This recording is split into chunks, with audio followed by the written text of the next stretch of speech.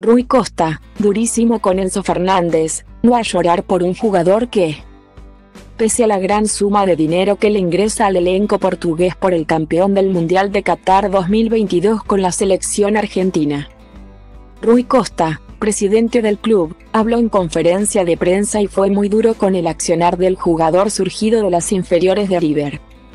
Se hizo todo para que la venta no se concretara. Me entristece que se haya ido pero con la conciencia tranquila de que hice lo mejor por el Benfica. Tratamos de no venderlo a mitad de temporada.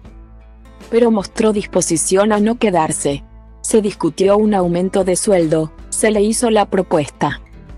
Pero lo del Chelsea era inviable para nosotros, declaró el máximo mandatario ante los medios. Nunca logramos convencerlo.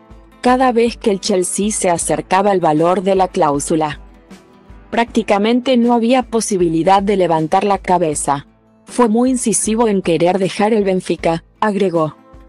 Enzo Fernández dejó el Benfica y ya es nuevo refuerzo del Chelsea, en una transferencia récord a cambio de 121 millones de euros.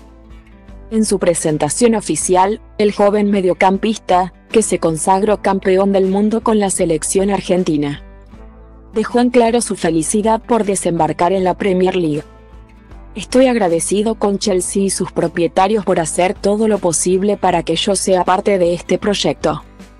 Estoy feliz y emocionado de unirme al Pride of London, jugar en la mejor liga del mundo y competir por los trofeos más grandes, afirmó. No veo la hora de jugar frente a nuestra hinchada y ayudar a mis compañeros dentro y fuera del campo agregó Enzo Fernández, quien se transformó en el futbolista argentino más caro de la historia con esta transferencia récord.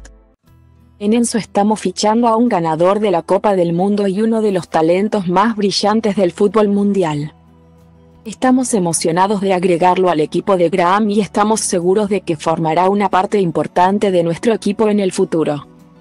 Enzo ha demostrado su habilidad en los niveles más altos, así que estamos ansiosos por ver lo que hará en el Chelsea. Expresó Todd Boehly, el presidente de la institución.